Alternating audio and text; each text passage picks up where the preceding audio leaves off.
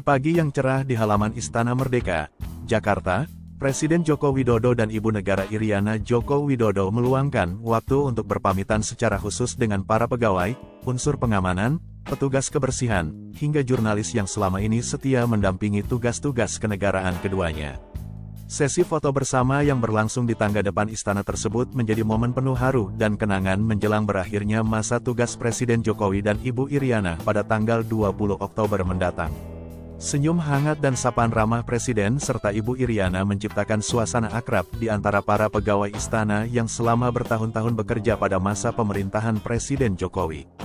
Dalam momen ini, Presiden Jokowi dan Ibu Iriana secara langsung menyampaikan rasa terima kasih mereka kepada semua pihak yang telah berkontribusi dalam menjalankan tugas negara.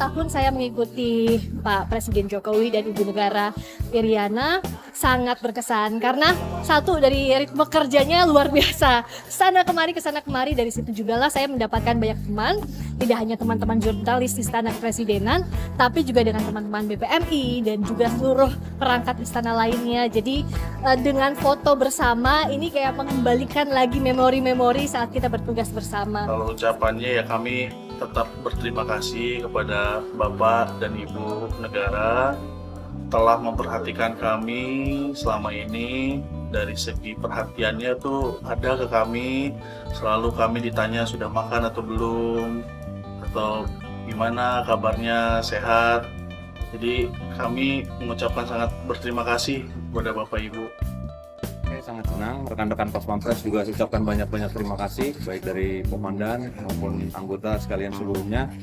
Kami ucapkan terima kasih. Hanya itu saja yang kami ucapkan terima kasih atas kerja keras Bapak dan Ibu selama ini. Uh, nggak bisa berkata-kata lagi hanya terima kasih Bapak dan Ibu. Dari hati yang paling dalam sedih Mas. Kita kan udah kurang lebih 10 tahun melayani beliau kan.